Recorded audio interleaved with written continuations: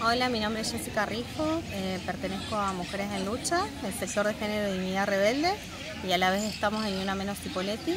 Vinimos al encuentro regional en Chuele Choel, eh, preparándonos para el plurinacional en Furiloche. Eh, nos encontramos con un montón de organizaciones y mujeres y disidencias de distintas localidades.